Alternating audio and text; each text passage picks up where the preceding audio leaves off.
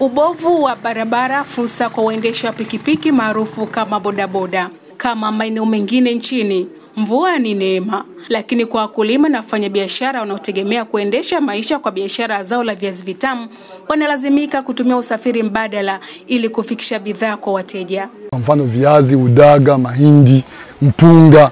Sio kwamba masigo utatokana tu eti na kiazi, yaani kwa ujumla ni mazao yote.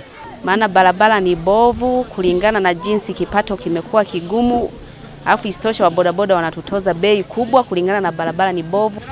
Tunakuja kutafuta viazi, tunanunua viazi, lakini hatuondoki kwa wakati kwa sababu ya barabara.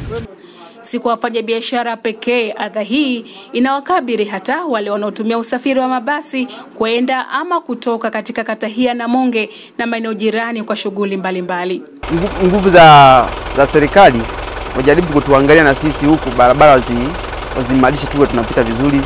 Barabara hii imefanyiwa matengenezo mwaka 2015 kwa maana ya kuleta greda na kuparua barabara. Kwa mujibu wa wakala barabara za mijini na vijijini TARURA, wilaya Bukombe inakadiriwa kuwa na mtandao wa barabara zaidi ya kilomita 1300 huku kilomita 3.07 pekee ndiyo iliyojengwa kwa kiwango cha lami. Mkurugenzi wa halmashauri hiyo Deonis Mnyinga anakiri kuwepo kwa hali isiyoridhisha kwa barabara hiyo iliyo kitovu cha biashara za mazao ya wakulima. lakini sasa ni kweli imeharibika na imeharibika sana kama unavyosema, kwa sababu ile barabara inatumika sana, inatumika sana kwa sababu eneo la Namonge, unapozungumzia Namonge mpaka kwenda ndani, kata ile ndiyo kata inayozalisha mazao mengi.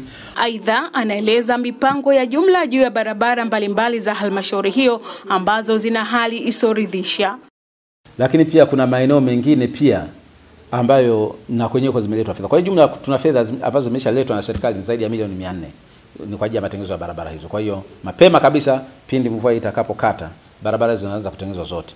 Biashara mazao ya kilimo katika kata hii inatajwa kuvutia wakulima wengi kujishughulisha na kilimo ikiwemo viazi vitamu na kutoa fursa za ajira kwa makundi mbalimbali ya vijana na wanawake huku akitumia fursa malori ya mizigo kuyafikia masoko ya Tanga na Dar es Salaam.